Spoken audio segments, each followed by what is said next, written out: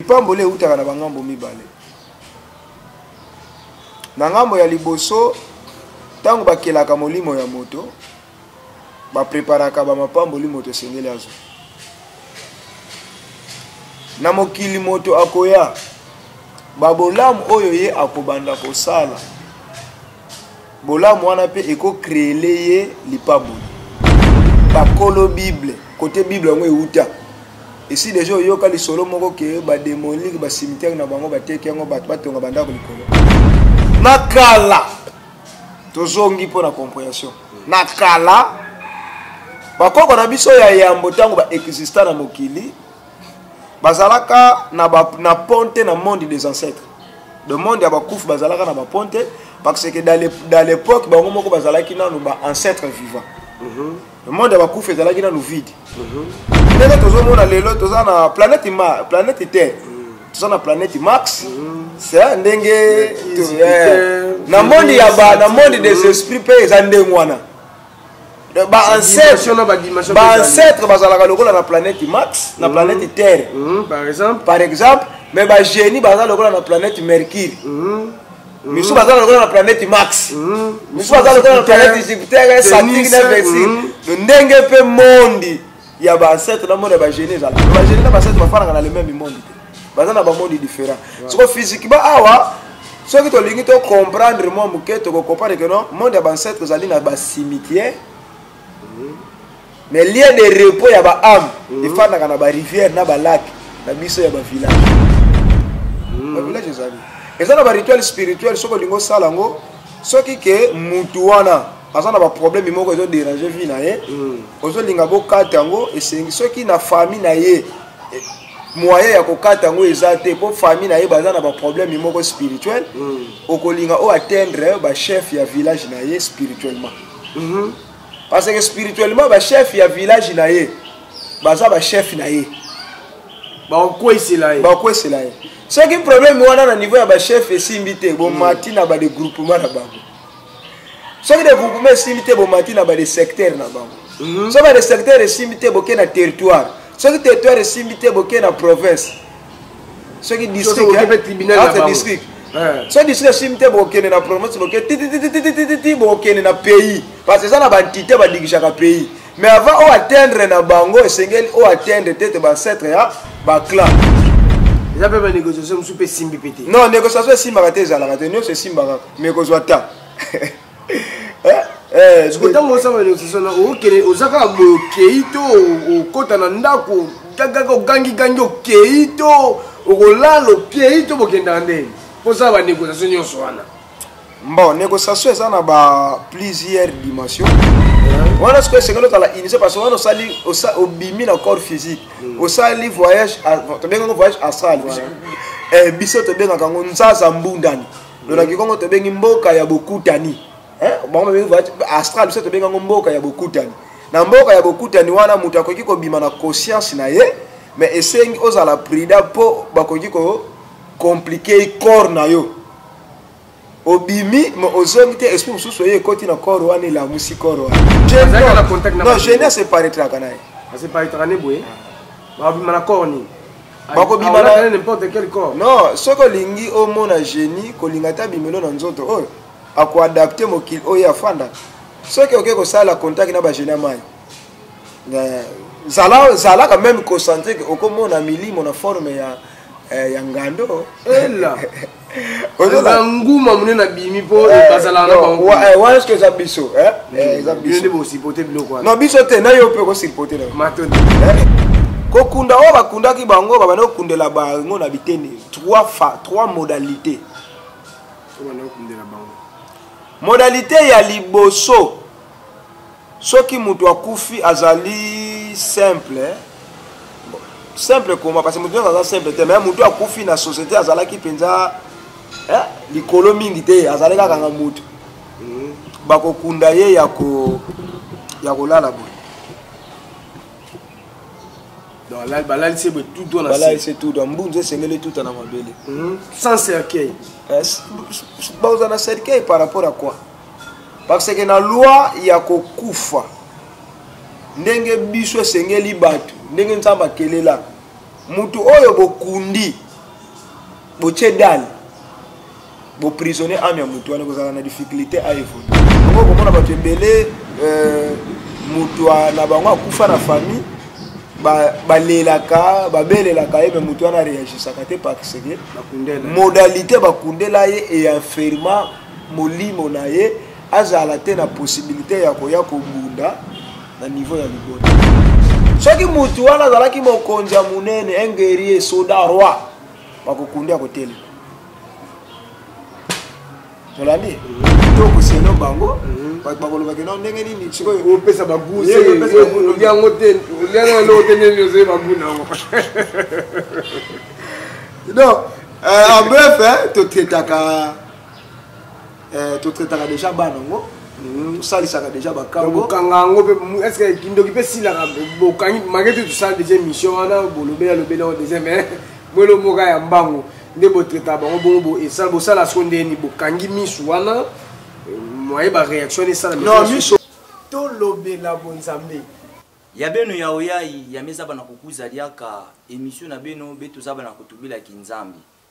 Tolobela bonzambe.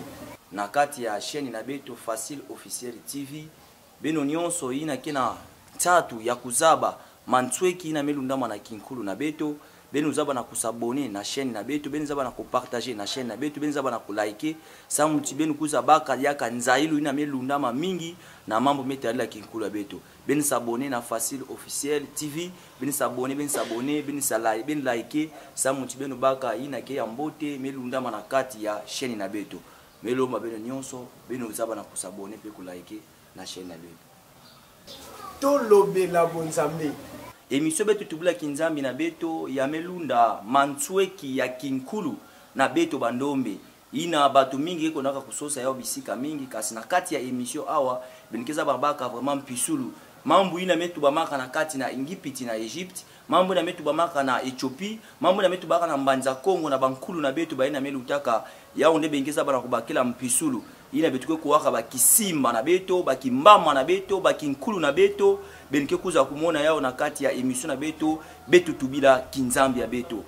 beno nyonso oke na kolanda beto bisika nyonso beno kele beno zaba na kosabone matondo mingi matondo mingi na bino baye bomesana kopesa biso confiance partout na monde entier euh, bomesana kolanda émission na bino tolobela bonzambe euh, wana ya bino ntinu de la presse internationale mbuta mananga ntinu de la presse internationale mbuta mananga tozali wana toyebisaki bino ete kotambola tozo continue kotambola tozo continue koluka tozo continue kotuna mpo biso toza kaka na mituna biyano eza ya bato oyo tozoluka yango moni lelo lisusu toyaki toyeba kosala tokontinue baémission na biso na papa na biso ngunza toya nayebi na kopesa bino bambote partout bozali bino bato bomesana kopesa biso mpe confiance Bo s'abonner, bo s'abonner na chaîne na bino Facile Officiel TV. Bo liker, bo liker, bo partager, bo, parta, bo partager ba émission oyo. Bo s'abonner po ba émission ebele ezali boyeba ko rater te soki bo s'abonner. To sengi na sima kamera ezaki bongo mbuta vuvu to sengi afongola biso. mbote ngunza ah, mbote papa mbote papa journaliste mbote na bandeko banso bazali kolanda biso toyebi te na ta nini bazwi biso moi to pokwa baoyo bazwi biso na moi bonjour baoyo bazwi biso na pokwa bonsoir donc biyenge bambote eh, nyonso esengeli topesa na bandeko banso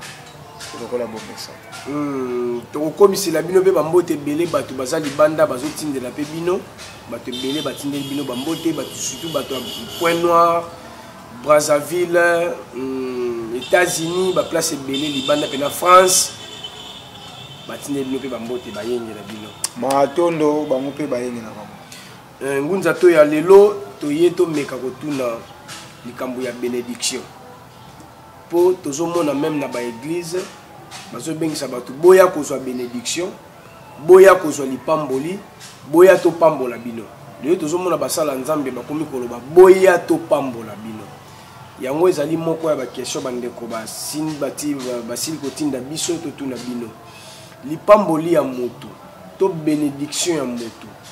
ezalaka pa basala nzambe to ezalaka na famille to ezalaka pa nzambe a ah, bref lipamboli ya moto eutaka wapi nani aza sense ya kobenir moto matondo mingi na bandeko banso bazolanda biso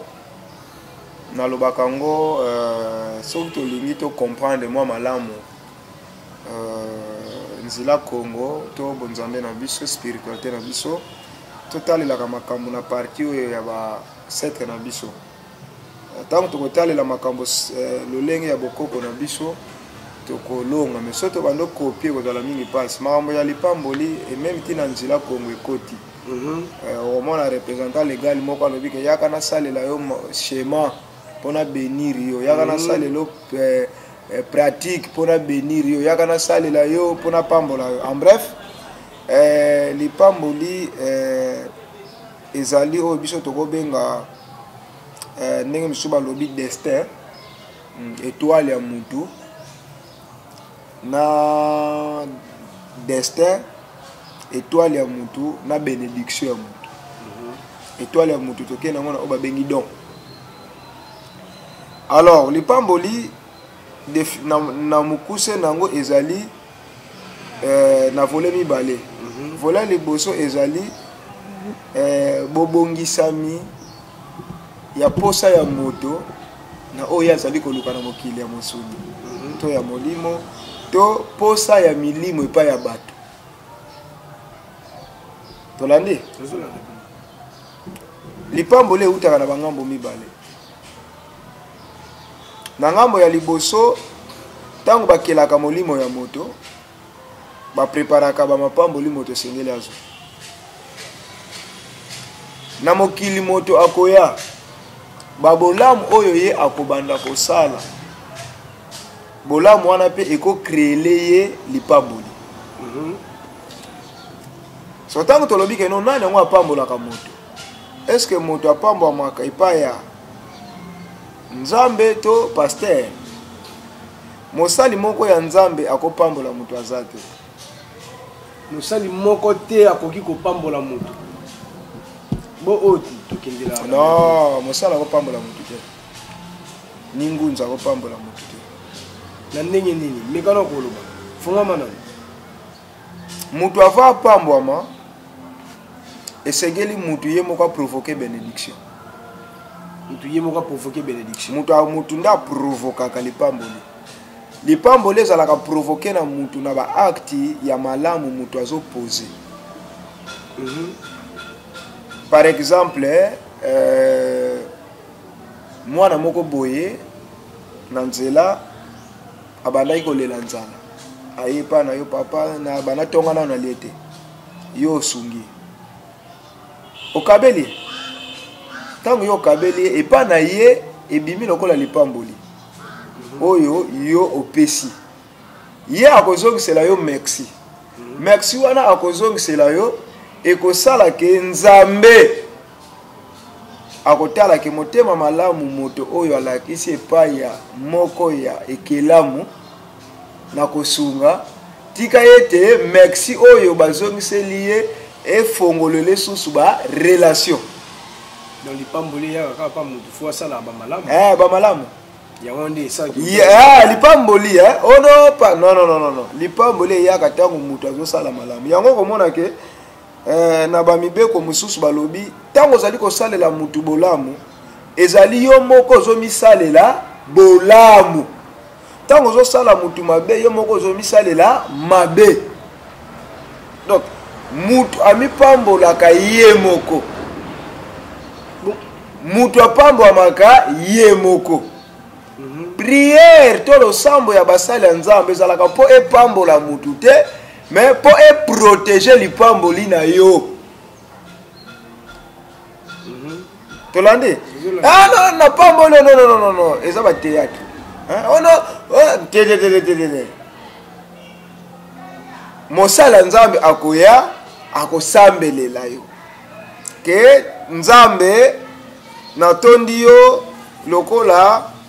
eh, opamboli ndeko oyo tika ete mai oyo tya kati na ye ezala protege banguna bazwa yango te kokisela ye sesa losambo nzambe ya mosala nzambe me mosala nzambe okoya te napamboli yo nono mona ekomi ekomi théâtre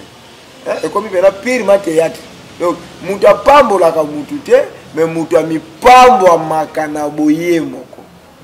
mais eza na émission moko boye tosala na bino tozokende tolandi mhm. moto ya mipambwamaka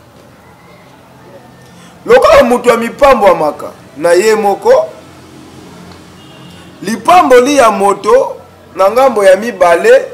ekowuta epai ya bakoko na yo bakoko na yo na ndenge baoyo bakufa bakoko bakufa banda bakenda na bango non soki bato bakenda sinon jésus asala appel ya eli na, na, na moïse te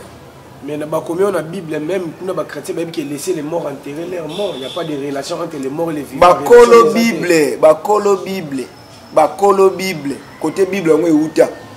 esi deja oyoka lisolo moko ke bademolike bacimetière na bango bateki yango bato batonga bandako likolo pourquoi eh, epa na yo africain lelo afrique ezokende na déclin ezokende na déclin parce que après 50 ans cimetière ekotekama eh, eh, lipamboli ya bato libatelami ya bato efandaka na maboko ya bawei okomona na bamboka mhm. basimitere ezalaka na, na ebandeli to na nsima ya village mhm. so olingi okota na village okomona cimetière mhm. soit ntango olingi osilisa village okomona cimetière pourquoi batiaka cimetière na ebandeli to na suka batiaka cimetière na katikati ya mboka te bayebi ke no milimo oyo totie na ebandeli to totie na suka bango nde bazali koprotege biso po bango nde bazali na miso eza kufa or ke kufa nde eza vrai source ya bomoi parce que kuna nde batire vie yango komona ke meme mwasi ntango azwi zemi avant 3 mois ame ekota na nzoto ya mwasi ya libumu mwana azalaka nano ya kokufa na kati ya libumu ya mama mais après 3 mois ekosala ke arme wana ekotraverse libumu ya mama a partir ya 3 mois oza na facilité ya koyeba miso ya mwana yo ozobota nkombo na ye avec des pratiques ancestrales mwana wana akopesa yo nga nkombo na ngai ntele tutututuapart 3 mois papa okoki koyeba mwana oyo aza na libumu nkombo na ye ah, ye moko moto akopesa okombo akopesa yango omoni na afrique mm. toza na bakombo ebele parce que kombo ebandaki kopesama yambo mwana abotama yango tokomona toza na ba eh, toza na bakombo na afrique okotuna bakombo yango euta wapi okay. tolandi ekosala koma na kala tozongi mpo na comprehension na kala bakoko na biso ya yambo ntango baexista na mokili bazalaka na, ba, na ponte na monde des ancêtres de monde ya bakufu bazalaka na baponte parce que dans l'époque bango moko bazalaki nanu ba ancêtre vivant mm -hmm. le monde ya bakufu ezalaki nanu vide mm -hmm. babandaki ko communiquer na bagenie bagenie bafandaka na monde ya baancetre te mais bagenie bafandaka euh, koma koma nakoloba bafandaka nakoloba libanda ya ya monde ya baancetre donc baza na monde mosusu eh, bango baza na monde mosusu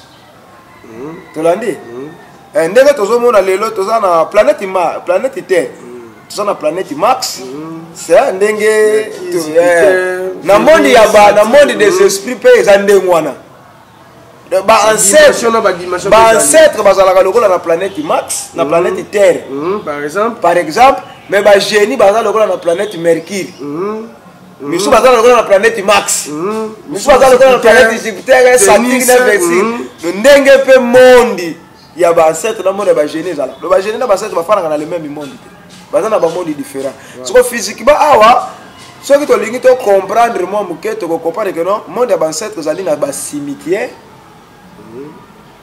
mais lien de repos ya ba ame mm. efandaka na ba rivière na ba lac na biso ya ba village ba rivière na ba lac ya biso ya village eh. donc eza na monde moko te o place moko basangisa bango mais non basangisaka bango te baza divise omoni baza divise par rapport par rapport ba famille to par rapport par rapport ya ba famille un eh. ah. baza divise eza te soki oza na famille na biso te mm. soki okufi okoya na famille na biso no ezalaka te chaque famille baza na mokili na bango se nde tokenda mpe kuna bavillage na bavillage eza eza hmm. bavillage ezali eza na barituel spirituel soki olingi osala yango soki ke mutu wana aza na baproblème moko ezo dérange vie na ye hmm. ozolinga bokata yango esengi soki na famille na ye eh, moyen ya kokata yango eza te mpo famille na ye baza na baproblème moko spirituel hmm. okolinga o atteindre bachef ya village na ye spirituellement mhm. parce que spirituellement ba chef ya village na ye baza ba chef na ye bakokwesela ye bakokwesela ye soki problème wana na niveau ya ba chef esimbi te bomati mm. na ba de groupement na bango soki de groupement esimbi te bomati na ba de secteur na bango mm-hmm. soki ba de secteur esimbi te boke na territoire soki territoire esimbi te boke na province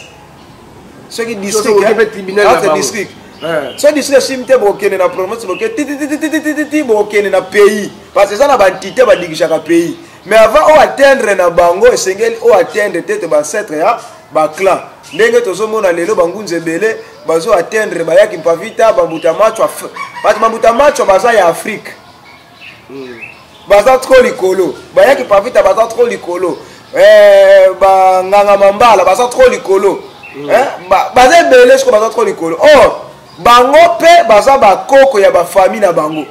mm-hmm. tolabi mm-hmm. alors ekoseka ke soki olingi oresir problème yango omonaka ke ntango moto azosalisa mosala na engunza yo ngunza il faut kotalisa motu wana malamu parce que problème mosusu ekolia yo 3 ans ya négociation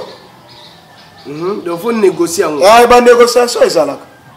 eza mpe banégociation mosusu mpe esimbi mpe te non négociation esimbaka te ezalaka te nyonso esimbaka mais kozwa ta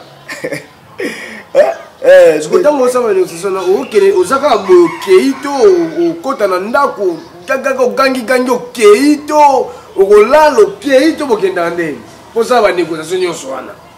bon négociation eza na ba plusieurs dimension mhm. eza na bato mosusu baza na dimension ya koyoka bon eza na bato mosusu baza na dimension ya komona mhm. eh, afandi amoni eza na bapase komonana komonana ndambo ya ndoto biso nyonso tomonaka motu nyonso motu nyonso apumbwaka mhm. motu nyonso abimaka na nzoto mhm. ah, moto akoyebisa ngai no ngai napumbwaka te oza te parce que earrivaka ke motu alali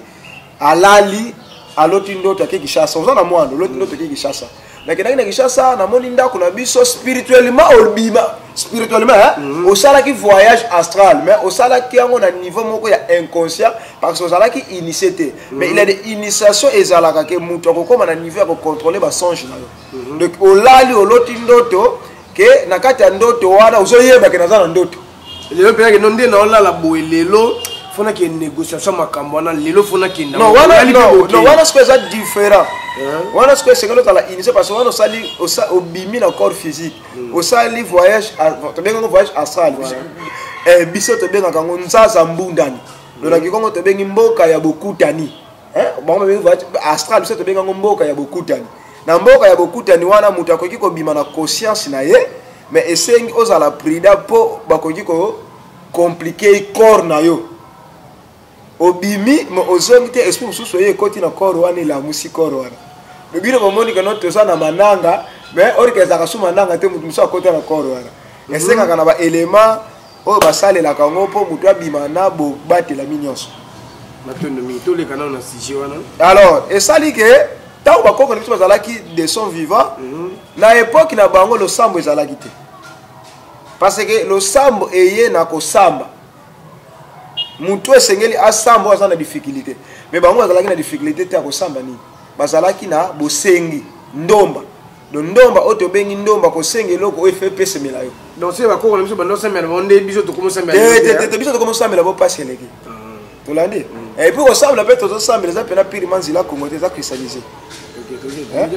eh, que voulez-vous eza christianise bakoko na biso babandaki kosala kosenga epuis invocation mhm. invocation to évoke ezali kobelela eloko oyo oza nango na précision ke eloko nazobelela ekoyela ngai to ekopesemela ngai sans mikakatano alors bakoko na biso ntango babandaki kovivre wana nanu nanu babanda okufa te mhm. bazalaki na mokili ya bakufi te bakokende bakende kobelela so baza na mposa likambo so likambo wana eza gere na bilima ntango na mpe bageni mpe babanda koseparaitre mpa na bango mpe boye non geni aseparetraka na ye aseparetraka ne boye babima na corps nini bakobima na n'importe quel corps non soki olingi omona génie kolinga ata bimelo na nzoto oyo akoadapte mokili oyo afanda soki oke kosala contact na bagénie ya mai eh, zala zala quand même concentré okomona milimo na forme ya eh, ya ngando ela nguma monene abimi mpo eh, bazalaka na bango eh, wana soki eza biso eh? nde bosipote biloko wana biso te na yo mpe okosipote na yo matondo mingi okosipote na yo na basens ke ebandaki kozala to ezalaka nango réalité wana mhm. mais au fur et à mesure mokili ndenge ebebi lelo bakoma mwa distance balingaka soki kosala biloko wana te mpo mokili ebeba mm. bakomaka peut-être eh, okokende na mai oke na zamba oke kosala barituel spirituel mpo na mm. kobelela bagenie mm. okomona nyoka ye eh, okomona eh, ndeke akiteli bino bazalaka na bamanifestation na bango basalaka bino bokosentir ke no eloko oyo ntango tozalaki ezalaki te mais bokomona mpena ke no bosali losambo nyoka ye place boza nyoka ye eza na barealité nango eh? ntango babandi sikoyo kokufa eh, alors ntango sikoyo babandi kokufa mhm. bakufi parce que molimo ya motu ewuti epai ya mpungu tulendo mhm. bakoko na biso babandaki kobelela nzambe tata nzambe te mhm. ke tata nzambe oyo likolo non c'est appellation se christianise parce que soki olobi tata nzambe seke na conception nzambe aza mobali eh, bato nyonso bayebi ke nzambe azalaka tata azalaka mobali mobali aza mobali aza mondele aza suki elala epuis aza kitoko afandaka na kiti kiti yango epelaka minda likolo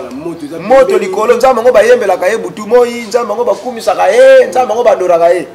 me nzambe moko ya papa me nzambe moko oyo bana nde bazonyokwama me nzambe moko kuta afanda na ye eh, asalaka nde kutu eloko te conception nyonso wana ya kopesa nzambe forme eza mpenza kiboyindo te mhm. bakoko na biso bandaki koyeba ke nzambe azali molimo mhm. molimo oyo ezalaka na forme te mhm. mais bazwaka exemple ya nzambe na nature nzambe aza mai nzambe aza moto nzambe aza mopepe nzambe aza mabele yango bakoko na biso bandaki kolobaki babandaki koyeba nzambe azalaka me emoniseli na ye ezali na kati na bikelamu na ye toke ntango euh, mokeli na ngambo ya bonzambe na ye mhm. azalaki nzambe molimo mhm. esengaki abota milimo mhm. tolandi parce que milimo bakela yango te me milimo ebotama ebima nde epai ya tata kasi biso nyonso na mokili oyo tozali milimo tozali milimo oyo towuti epai ya ye moko mokeli tozali bana na ye orke bana bazalaka papa tolandi ntango mokeli aboti milimo na biso esengaki milimo wana elata nzoto bakreela yango karakasi ntango bakreela yango caracas milimo wana ekoti na kati ya nzoto ya mosuni babengi yango bikelamu bikelamu ezali nzoto nde me molimo ya moto ezali ekelamu te po molimo ya moto bakela yango te me molimo ya moto ezali eh, oyo biso tokobenga bomoi biso lokola bazalaka na enseignement oyo ke tozali milimo oyo towuti epai ya tata bolimbisi moke towuti epai ya mpungu tulendo seke tozali bana oyo ye aboti baye na mokili ya mosuni balobi ke nani yango oyo abotaka ezali mwasi balobi ke seke mwa mpungu mokeli azali mwasi mhm. parce que azali kobota mi milimo yango bandi kobenga bango ma mpungu tulendo mama ya milimo tolandi mhm. ntango sikoyo baye kokela eye kosala nini ntango bakoko na biso bakufi mhm. bakundi ba bango kokunda oyo bakundaki bango babandi kokundela bango na biteni trois fa trois modalité modalité ya liboso soki moto akufi azali simple simple koma parce que moto nyonso aza simple te mais moto akufi na société azalaki mpenza eh, likolo mingi te azali kaka nga moto bakokunda ye ya ko ya kolala boye balalisi boye tuto nabalalisi tuto mbunzu esengeli tuta na mabele mhm. sans cercueil eh, baoza na cercueil par rapport à quoi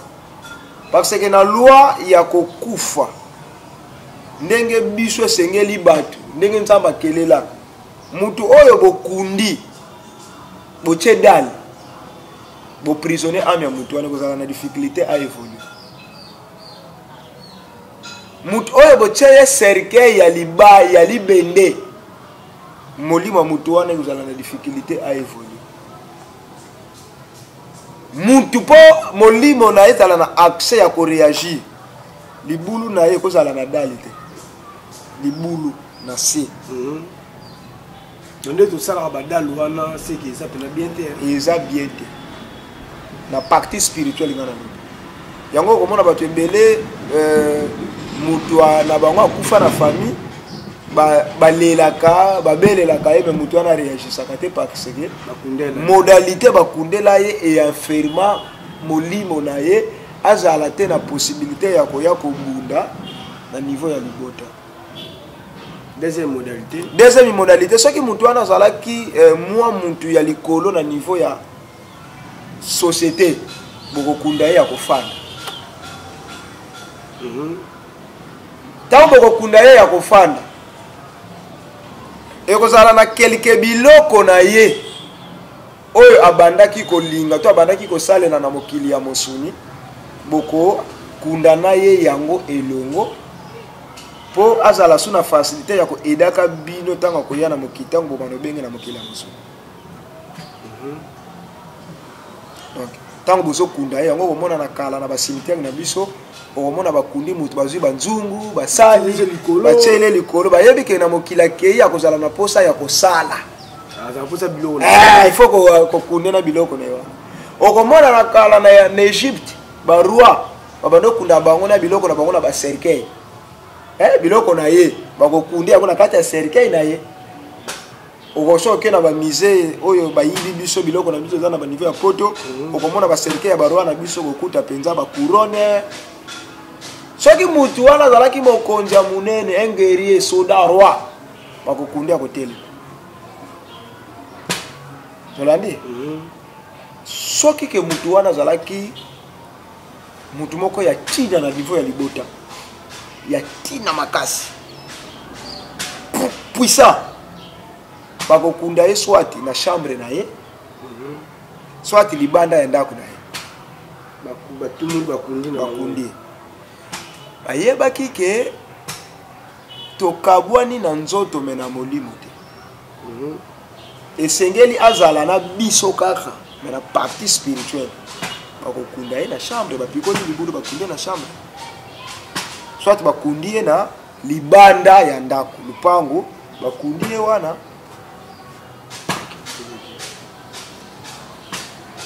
ekosala nini ntango bakundi mutu mikuwa ekozala na na kunda me ane wana oyo elataka nzoto ekozonga na esika na yango euta tolandi ntango ekozonga esika na yango euta bana oyo batikali na mokili ya mosuni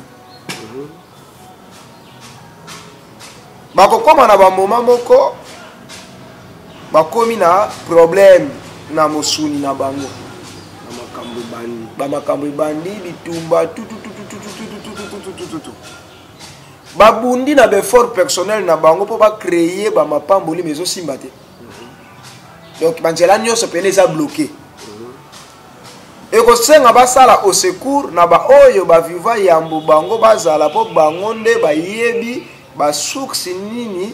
bana wana bakoki kozwela ba solution mhm. bakokende na nkunda ntango bakokende na nkunda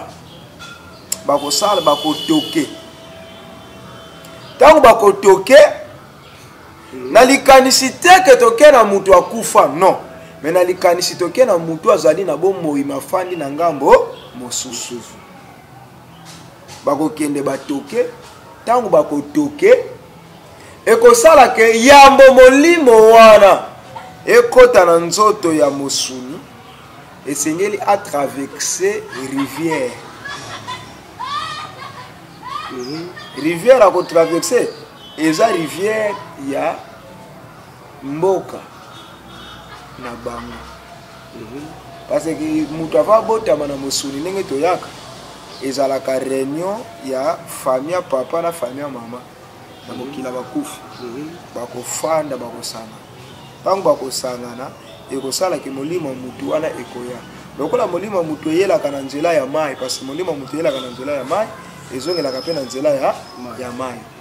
etravexaka mai mais spirituellement ekoya na mai oyo ezali na colonne vertébrale ya papa ekoti me na badimension mosusu etravexaka na mai ya barivière ya bamboka na biso yango komonake na bamboka soki moto akufi bakopekisa bino bokende na zamba bakopesa bino bokende na zamba na sens ke soki mutu wana azotraverse mpo akende na dimension mosusu soki yo okwei esika azokatisela rivière mpo mai emata okobela liboma mm-hmm. yango bapekisa balobaki bamai te bazamba te eh, soki moto akufi na bamboka eh, bakopekisa bino bokota zamba te mpo moto wana esika na traverse mai mm. bayebi te kotraverse na jour nini esengeli ti jour bakokunda ye après basali baceremonie bongo nsima nango bato oyo baza ya mayele bakoyebaka atravexaki bakopesa bino ndingisa bokota zamba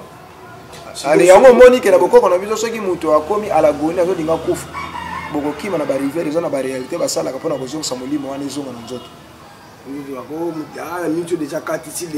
akatisi akatisi ale bokokende mai na mai eza na baprocédure bokosala baprocédure wana bokosala ekofacilite ke molimo ya motu wana ezonga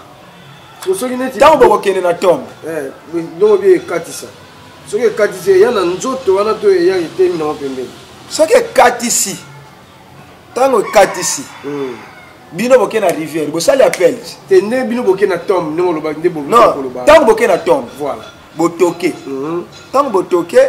wana eza kaka mikuwa na nzoto hmm. molimo na kati eza te ekosenga molimo eya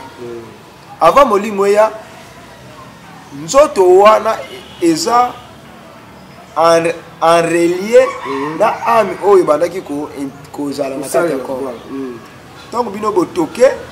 ekosala ke corps wana akopesa signe esika ame ya, ya nzoto wana ezali ntango akopesa signe ekosala ke molimo wana euta na eh, na bon todefi lokota eh, nalie lirepo mhm. tobenga nini na monoko na biso bon na monde na eh, monoko na biso toza na badifférente monde spirituel mhm. eh, mosusu babenga ngo kampe bakalunga eh. eh, lie de saint mpe bakalunga mosusu babenga ngo mbanza velela mhm. mosusu babenga ngo mbanza kayengele mhm. toza na baplusieur monde spirituel ezali parce que kuna mpe ezali ya kokabana ndenge tozomona awa eza te soki tokufi biso nyonso tokendaka esika moko moto moto akendaka na place na ye kolandela dimension na miso yaki na mokila mosusu ntango bakoya akotranscende na corps wana ntango akotranscende na corps wana mbala moko akolamusa baposa nyonso azalaki nango na mokili ya mosuni soki abandaki kolia madesu komemele madesu soki abandaki eh, kolia soso bomemele soso soki abandaki kolia bitabe bomemele bitabe eloko nyonso abandaki kolinga bokomemela ye me ntango aza molimo aza na posa te aza na sentiment te aza na eloko te ntango aye na nzoto na ye nakomi na posa wana akosenga bino biloko bota tomona bobeli bango bobwaka nsamba makasi aza molimo bondeni azwi nsamba na makasi wana tobelelaka milimo me oyo baintegre banzoto na bango na baniveau oyo ya batombe esika bakunda bango mais ntango tozopesa gloire mm. na baami na bango mm. tokobwakela bango biloko te eloko kaka tokotumba eza euh, asan mm. tobengi yango asan to mbidi eh? mbidi makasi eza oyo okotya milinga wana mpo emata ntango bakoya na corps na bango yo oexpose okoexpose mais avant oexpose mposa na yo eza na basigne okomona na tombe wana soki oza motu ya miso ya molimo te ke omonaka te mm. te omonaka te oyokaka te me motu nyonso aza na kizaka kizaka babenga yango parti sensatoire to parti vibratoire na nzoto ya moto mm. kizaka wana motu nyonso azalaka nango na, na vie esalaka ke motu nyonso aza na facilité ya kosentir mauvais esprit basuki ya motu elinganaka tolandi mm. soki kizaka wana ekufaka ntango moto azali kokola azali mal orienté mais ntango ozongi na nzela spirituel ezali koma moto akoki koreanime kizakani wana elamuka soki oza na problème nzoto ne mpe ebandi kosala motu tu azalaka nango soki soki oza na matoi te miso mpe emonaka te oza mpe na zolo na yo eyebi kodiferencie gage ya bawei to ya baviva te suki na yo kizaka na yo ekufa mpo ezala bato mosusu kizaka ekufa la première signe okomona silence ekokota ntango okobanda kosambela ntango okobanda okosentir silence soki ezalaki na cimetière mopepe ekoya te okosentir silence moko ekokota ekozwa peut-être 30 secondes ou une heure du temps silence ntango bakoya bakokotisa nanu silence après 30 seconde ou une minute okomona mopepe sikoyo eye mopepe wana sikoyo ekoya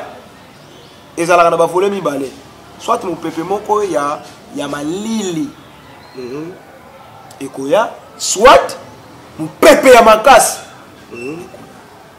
wana sikoyo bato babeleli baesprit wana na kati ya cimetière ah. obeleli motu na bino oyo obeleli motu na bino mhm. soit bokomona papillon mhm. bosutaka boye papillon bosutaka boye dalevide kaka na cimetière papillon aye atourne soit bokomona nzoi mhm. nzoi aye place wana soit bokomona euh, bon ezalaka bakarare hein, po wana bokobanga nyoka n'importe quel insecte ndeke akoya bokomona evenema ya eloko moko soit bokomona ntango obandaki kosala euh, cérémonie na niveau ya tombo bomonaki eloko te mais sibitima sibitima bokosutuka kaka bafourmi basali apparition na tombo eliaka ekoma so nini mpo ekoma kolia bato na kala mhm. babiloise ezalaka te mhm. na kala bakoko na biso na kala biloise ezalaka te babandaka kosala bapratike mbala moko na badivin so aza na mposa likambo akeka na mai asali biloko esili so aza na mposa akende papapa evi so aza na mposa ah, so aza na mposa aza na mposa soki ayaki kosala ke eyaki kozala na periode moko bakoko ebele bakufa batikalaka jamais kotika ba empreinte na bango na monde physique oyo bakoki kosalela bango lokola baréférence na bamoment ya badifficulté oyo bana bakobenga bango anaye kosalema ke au fur et à mesure mokili ndenge ezo évolue ngai naza ngunza naza na mposa nazokufa pouvoir oyo nasaleli mosala makambo nga naza nango namoni ke kokende nango ekozala bien te esengeli natika yango bana oyo bakoya bakontinue kosalela nazwi eloko oyo eza na baceremonie ritual na kosala nazwi energie oyo nasalelaki na mokili oyo ya mosuni natiki yango na kati nazongi ndenge nayela